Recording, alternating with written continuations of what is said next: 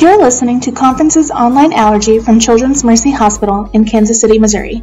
Today is February 16th, 2024. We are doing board review questions presented by Dr. Michelle Manious. She is an allergy and immunology fellow at Children's Mercy Hospital.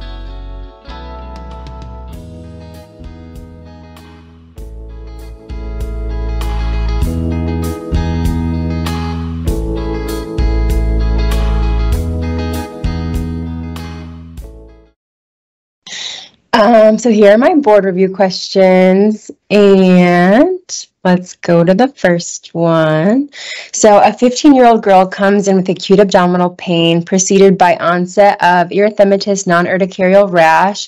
Lab tests were performed and results are C4 level is low, C1 inhibitor antigen is low, C1 inhibitor function is low, C1q is normal. And what do you guys think is the most likely diagnosis?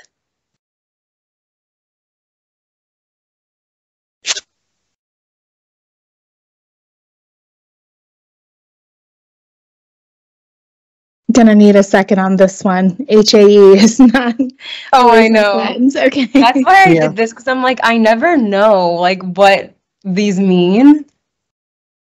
And then I have the next slide and like a nice chart that kind of shows you guys like the breakdown of how to think through them.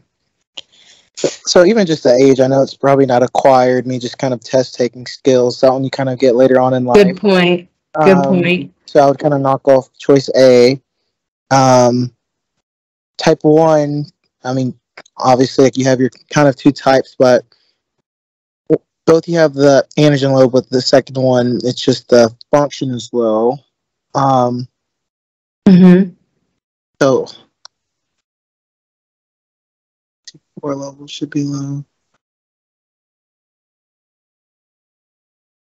I think it might be A or B. B. Sorry, type one HAE. Ding ding ding. Yeah. Um, why can't I go to the next slide? There we go. Um, so you guys are right. And then just a little bit about HAE. So the SERPING1 gene mutation in type 1 hereditary angioedema results in the functional deficiency of plasma protein C1 inhibitor, so low level of functional protein, which also results in a low function level. And then this results in the depletion of C C4 through increased activation of the classical complement pathway. And then type 2 HAE mutations result in secretion of a non-functional C1 inhibitor protein. So you can have normal C1 inhibitor antigen, but the function level will be low. But again, here you see C4 levels low in both type 1 and type 2 HAE. And although both type 1 HAE and acquired C1 inhibitor deficiency have low C4 and C1 inhibitor levels, like you said, so, so the patient's age makes the type 1 HAE more likely than acquired. C1 inhibitor deficiency, which is more often seen in older patients, not younger ones like this one in the question.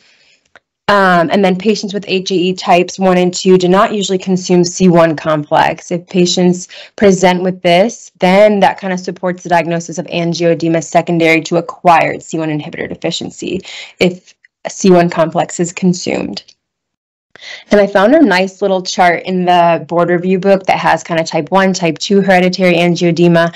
And on the far right, you can see both of them have decreased C4, but type 1 has low absent protein and low function, but type 2 just has the non functioning protein, but normal levels of it. And then you can kind of look through and see ages of onset. Like we mentioned, older people usually uh, over 40 is when you kind of think of the acquired C1 inhibitor deficiency, if like the labs kind of fit that picture as well, and then clinical features. Next question. A 31 year old woman that is a medical student with EOE wants to learn more about her disease process. You tell her that it involves eosinophils being home to the GI tract. Which gene do you tell her is most highly expressed in the cell trafficking pathway for eosinophils in EOE? Like the eotaxin. I think it's either A or B. Is it TCL? Uh, is- is it? eight- Is it eight? Is what I'm You're right. saying? Abby. I Eight. think it's What's- 26. 'Cause Yeah. C- CCL8 is the same as like IL8 or whatever. Yeah, so you're right about the eotaxin part. So said, but that is CCL 26, like Chow Oh, mentioned. 26. Okay. got it. So CCL26 or eotaxin pairs with the eotaxin receptor CCR3 for homing of eosinophils to the GI tract in like eosinophilic GI disorders. Nice. And a little bit about EOE. Kids, when they present, they have vomiting, feeding difficulty, food refusal, poor weight gain. And adults, you can see dysphagia, food impaction, chest pain, excessive chewing of food, and frequent drinking of water with food, avoiding hard or chewy foods, and refractory GERD. Diagnosis is EGD with biopsy showing 15 or more eosinophils per high per high powered field. And then morphological features that you could see on endoscopy of the esophagus show like exudate, rings, edema, furrows, strictures. Um, and then IL-5, IL-13, and eotaxin 3 are very important cytokine mediators in EOE. Eotaxin pairs, like I said, with the eotaxin receptor CCR3 for homing of the eosinophils into the GI tract. And then Another way to say this is that it's chemotactic for eosinophils. IL-3 creates more of the eotaxin, and then IL-5 increases and activates eosinophils. And here's like a little endoscopy. Oops, sorry, were you, was someone going to say something? Oh no, you're good, Michelle. Um, here's the endoscopy slide of like the esophagus. You can see like the furrows, the plaques that are seen with this with the EOE. Next question. A 15-year-old boy with EOE, and they're not all going to be EOE. I just went down this line because I thought some of these were some good questions. Um, has not responded to initial medical therapy. You discuss the spectrum of food elimination diets and next options. You partner with him in shared decision making, and he finally, like, reluctantly agrees to try eliminating just one food protein. Elimination of which single food protein has the highest statistical likelihood of improving his symptoms? It's gonna be So milk? okay. Milk, Mhm. yeah. Hmm. Yes.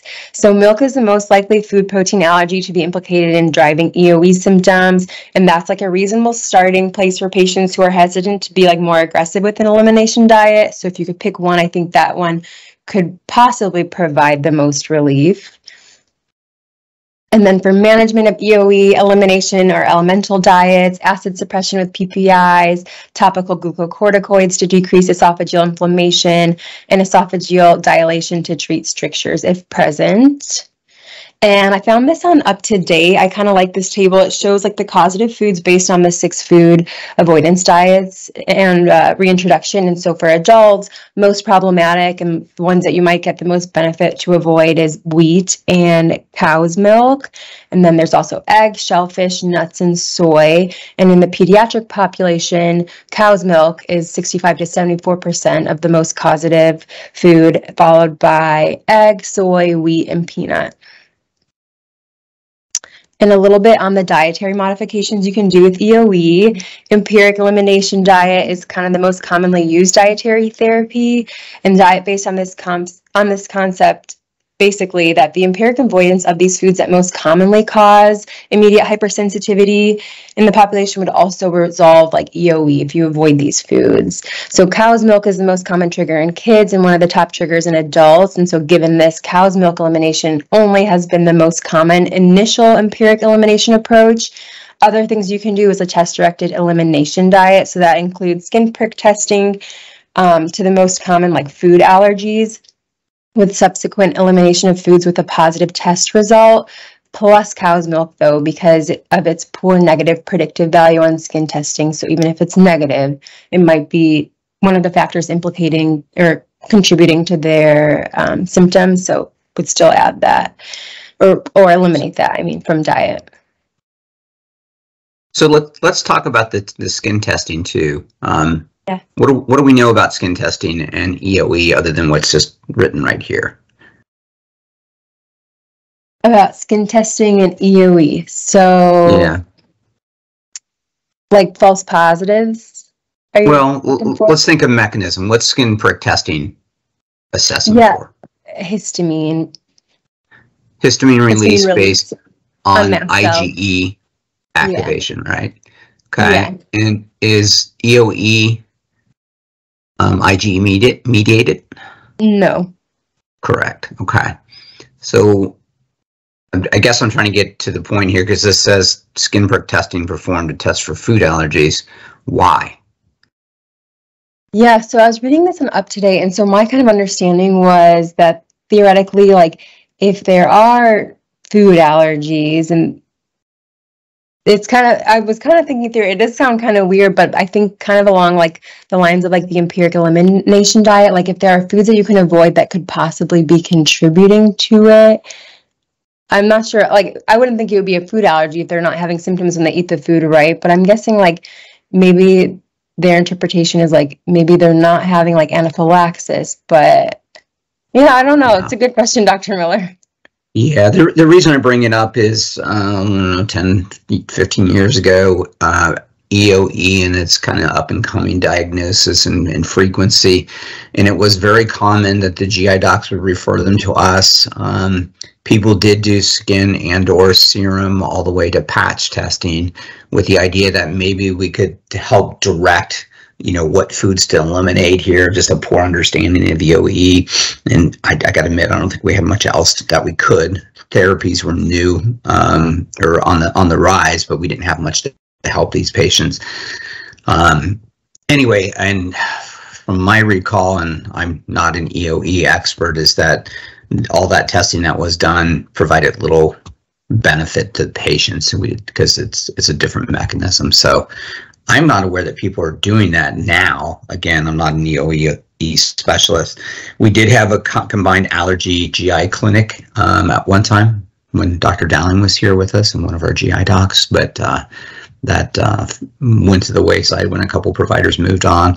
But um, I don't know. Does anybody else Dr. have any other right? insight? And from I think um, Dr. Pandya has offered for some patients in terms of like if they really want testing, but just knowing that it's a different mechanism. Because I think, at least for milk, like there's the there's the skin testing and the patch testing options for certain foods, but it's the negative predictive value for it is still not good in terms of for milk specifically. And then it's Mhm. like the patch testing is a better option, but you know that's not like that's easily available for us to necessarily do for food um, Yeah. and is has a higher negative predictive value depending on the food type, but it's not like every food, you know. Um, sure. so Okay. I, I just question does it have any value at this point? I, I haven't seen data again. I don't, I can't be up on every topic, but uh, it, it, it does cause pause at least. I, I just wanted to make sure you guys know the standard that uh, that I'm aware of is the, testing has gone to the wayside and that we don't routinely do this unless there's other IgE mediated history that would suggest to do that. So um, if anybody finds some good articles and I'm misdirected, um, please send them my way. Sounds good. Yeah, we'll look into that a little bit more. The other thing I saw is elemental diet. And so patient is placed on an amino acid based like elemental formula, which kind of eliminates all the potential food allergens.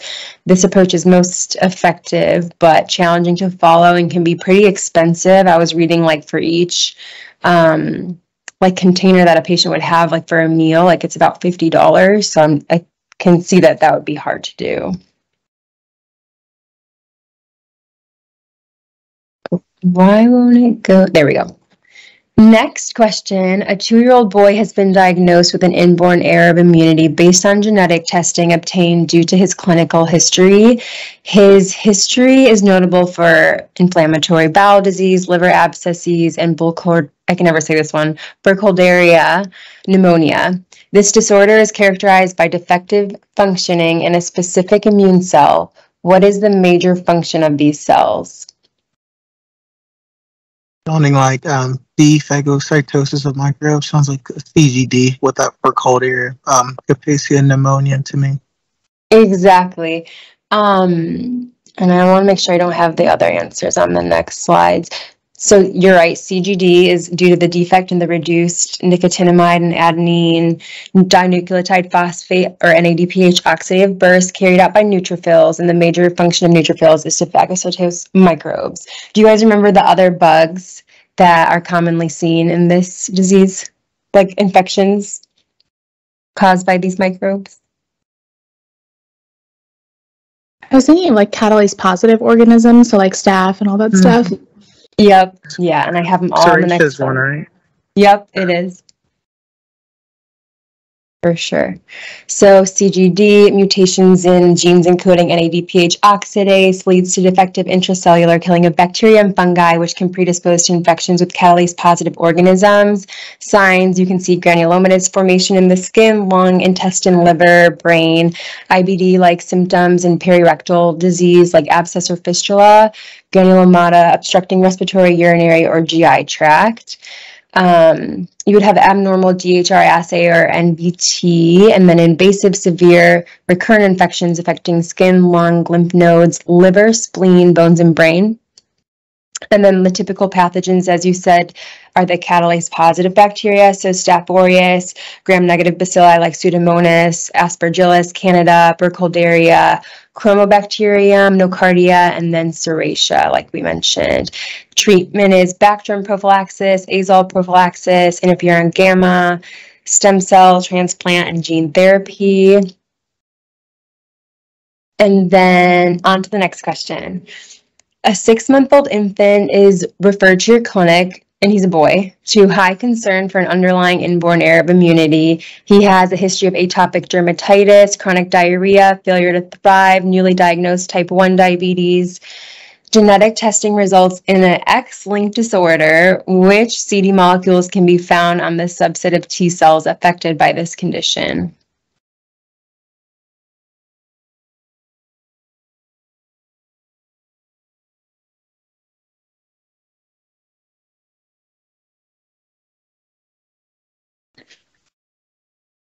I Sounds mean, like I think IPEX, right? Yeah. Yeah, I like- so- Yeah. And FOXP3 is CD25, so it's either answer choice B or C. I believe it's B, CD3, CD4, CD25. Yeah, Yep. let's do it.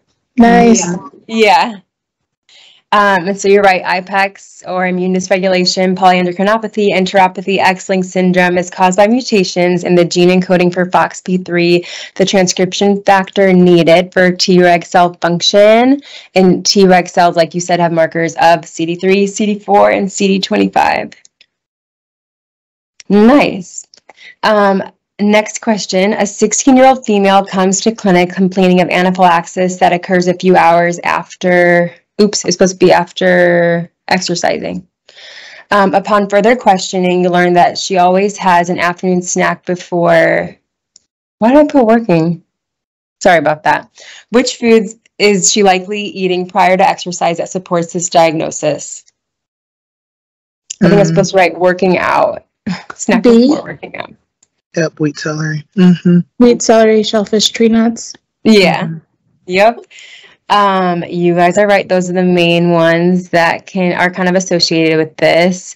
And so this is food dependent exercise induced anaphylaxis, a variant of exercise induced anaphylaxis that requires ingestion of those specific foods within 44 to 6 hours before vigorous physical activity. It affects females more than males, typically in their late teens to mid 30s. And the foods implicated are wheat, other grains, celery, crustaceans, cephalopods, tree nuts, tomato, mushroom, uh, tomato again, grapes, and chicken.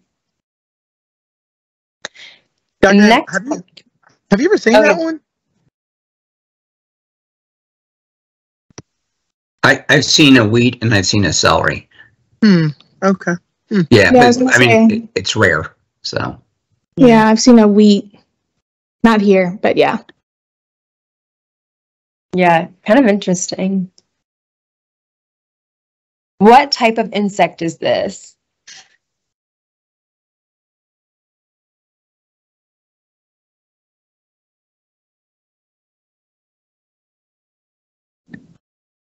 Is this a yellow hornet? Or jacket? Ugh. Jacket, yellow jacket, Go with the first. yellow hornet. yeah, yeah, yellow hornet, but they're pretty similar of the of the ones that I was looking at. And I have this slide that kind of helps with looking through them. So top left, you have honeybee, short body, bumblebee on the top right, short round body, more fuzzy. Wasp has a long thin body, and then hornet bottom right, long broad body. Um, where are their nests found?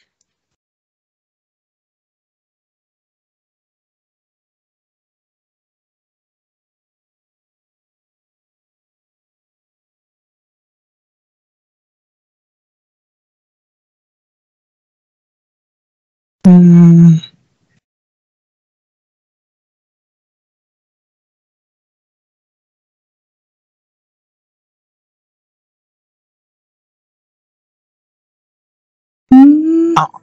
I'll just, I don't know. Um, I was gonna guess trees. trees. Yeah. Yeah, that's the one.